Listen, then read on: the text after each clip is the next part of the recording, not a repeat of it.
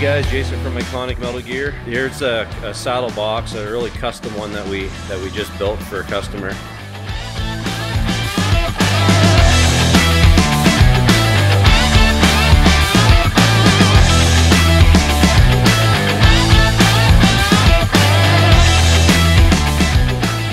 All 1 8 aluminum or thicker.